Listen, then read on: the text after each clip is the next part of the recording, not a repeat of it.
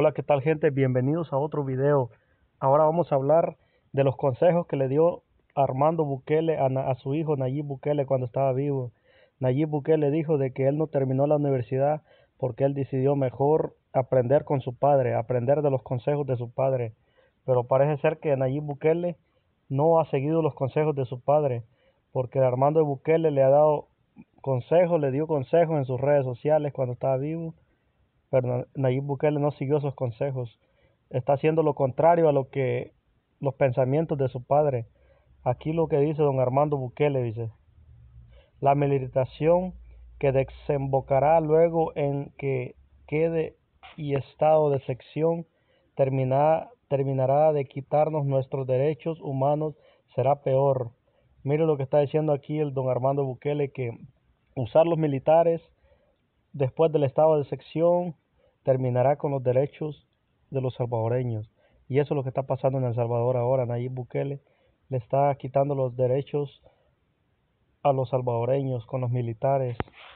Ya no quiere que la gente salga ni a comprar comida ya como lo que está haciendo en el puerto La Libertad, que ya la gente ni salir a comprar comida puede, solo porque Bukele lo dice. Y el mismo papá, el mismo papá don Armando le dio esos consejos en las redes sociales cuando estaba vivo y Bukele no hace caso. Hace lo contrario del papá. Y aquí vamos a ver más vamos a ver más predicciones que hizo don Armando Bukele. Vamos a ver este video. Hora de la misma. Van a ver, vamos a ver. Un consejo. La Fuerza Armada no debe dejarse instrumentalizar eso sería anticonstitucional. Y la Fuerza Armada debe ser obediente y cumplidora de la misma. Ya le engañaron una vez, que no le engañen de nuevo. Miren, ahí está, don Armando Bukele le mandó un consejo a Nayib Bukele cuando estaba vivo, que la Fuerza Armada no se debe instrumentalizar, que la Fuerza Armada tiene que hacer lo que dicta la Constitución, no lo que dice el presidente, y lo que está haciendo ahora la Fuerza Armada es lo que dice Bukele no es lo que dice la Constitución. La PNC también, haciéndole caso a Bukele todo. Y aquí el papá se lo dijo, don Armando Bukele, que en paz descanse. El Señor sus consejos que le dio, muy acertados, pero el hijo no los está siguiendo. Los hijos de Nayib Bukele no están siguiendo los consejos cuando dijeron de que ellos habían aprendido de su padre. Como dice la abogada aquí Berta de León, Aquí dice la abogada Berta de León, dice que don Armando Bukele estaría decepcionado de sus hijos. Y es la, es la verdad, estaría decepcionado de sus hijos porque no están siguiendo lo que les enseñó su padre. Y aquí hay más predicciones de don Armando Bukele. Algunos jóvenes pueden desear la militarización porque creen que es la solución, pero los que vivimos la guerra sabemos que no, es, no lo es. Miren, aquí está diciendo don Armando que los jóvenes desean los militares como los golondrinos que están felices aplaudiéndole a Bukele porque está usando militares para reprimir al pueblo. Esto es lo que está haciendo don, don Armando. Como estos jóvenes golondrinos no vivieron la guerra, ellos no saben qué es eso usar los militares, qué problemas pueden haber, porque ya los hubieron en la guerra.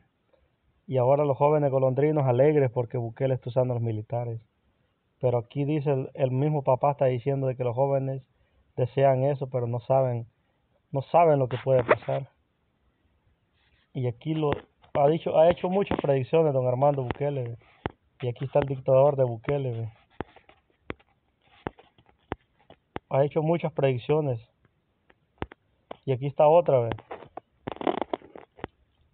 Cuando un bipolar actúa desproporcionadamente con aires de triunfador está en su fase María maníaca, pero después tiene momentos de depresión. Ahí está lo mismo que hace Bukele. Bukele es un bipolar que actúa como como un bipolar actúa, como dice, con aires de triunfador, está en su fase maníaca. Ahí está ahí Bukele actúa como un triunfador que él quiere ser el triunfador del coronavirus, el el que mejor combata el coronavirus es lo que quiere el Bukele. Quedar bien con todos los países para que hablen bien de él, para que digan bien que él sí está luchando contra el coronavirus.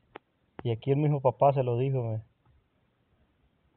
del Twitter hermano de Bukele podríamos encontrar joyas a cada rato. Aquí parece que describe a su propio hijo.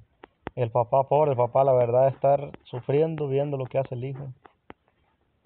El mismo papá le dio consejos a Bukele y a sus hijos y no lo siguieron. Y ahora Bukele hace lo contrario que el papá dijo. Cuando Bukele dijo que él había aprendido que él había aprendido de su padre, que él había que él había aprendido de su padre, por eso no terminó la universidad. Pero la verdad, Bukele es un bachiller, a pesar que es millonario, no terminó la universidad.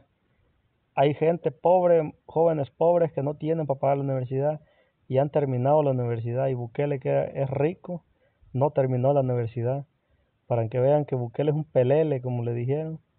Que Bukele no es un, no es un líder. Para más Sánchez Serén era maestro. Sánchez Serén que anduvo en la guerra fue maestro y este Bukele nada. Solo es un bachiller. No estoy hablando mal de los bachiller, pero él tuvo las posibilidades de terminar la universidad y no lo hizo. Conozco muchos jóvenes que no tienen dinero y con becas han terminado la universidad. Pero aquí Bukele, miren, ve. Bukele no es un líder. No es un líder Bukele. Bukele solo quiere tener aire de grandeza. Él solo quería ser presidente de El Salvador para tener poder. Es lo que añora Bukele, tener poder, ser más grande que todos. Y reprimir al pueblo es lo que está haciendo Bukele.